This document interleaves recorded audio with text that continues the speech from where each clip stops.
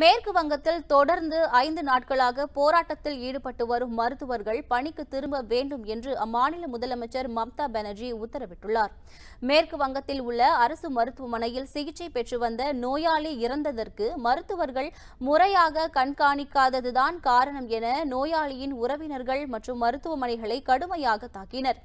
பணியில் இருந்த மருத்துவர் மீது நடத்திய தாக்குதலுக்கு கண்டனம் தெரிவித்து பெரும்பாலான மருத்துவர்கள் போராட்டத்தில் ஈடுபட்டு வருகின்றனர். ஐந்தாவது நாட்களாக தொடரும் இந்த போராட்டத்தால் மருத்துவ பணிகள் கடுமையாக பாதிக்கப்பட்டுள்ளன. நோயாளிகளை தனியார் மருத்துவமனைக்கு அனுப்பும் நிலை ஏற்பட்டுள்ளது. இதனால் மருத்துவர்கள் உடனடியாக பணிக்கு திரும்புமாறு முதலமைச்சர் மம்தா பானர்ஜி உத்தரவிட்டுள்ளார். இந்நிலையில் சுகாதாரத்துறை அமைச்சகத்தை கையில் வைத்துள்ள முதலமைச்சர் மம்தா பானர்ஜி பதவி விலக வேண்டும் என எதிர்க்கட்சிகள் வலியுறுத்தி வருகின்றன. உண்மை செய்திகளை உங்கள் கண்முன் கொண்டு வரும் காவிரி நியூஸின் யூடியூப் சேனலை சப்ஸ்கிரைப் செய்யுங்கள்.